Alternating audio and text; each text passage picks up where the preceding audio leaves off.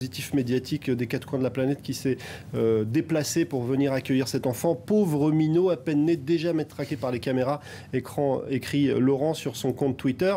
Euh, et puis, euh, un garçon est né au Royaume-Uni. La moitié des bookmakers sont en pleurs parce que c'est vrai que pendant des semaines et des semaines, on avait parié sur tout et n'importe quoi du côté de l'Angleterre, évidemment sur le sexe, sur le poids, sur le prénom. Alors, le prénom, on ne le connaît pas encore, donc les paris continuent, mais en tout cas, euh, c'est vrai qu'un certain nombre de bookmakers risquent d'être, euh, de certains nombres de parieurs risquent d'être particulièrement déçus euh, ce soir. Alors, on a, on a entendu que l'enfant est né aux alentours de, 16h.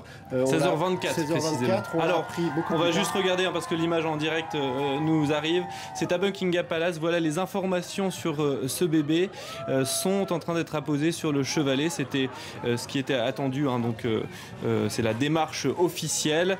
on imagine donc qu'il y a l'heure de naissance, 16h24. C'est un petit garçon et euh, il pèse donc 3,8 kg. C'est en tout cas ce que rapporte euh, la BBC. Et donc euh, ce chevalet avec ces informations qui, ont, qui viennent d'être euh, transmises depuis euh, l'hôpital Saint Mary où est actuellement Kate et elle se porte bien d'après ce que nous disait ce que nous rapporte Buckingham Palace. Elle se porte bien, elle va passer la nuit elle à Saint Mary. Alors on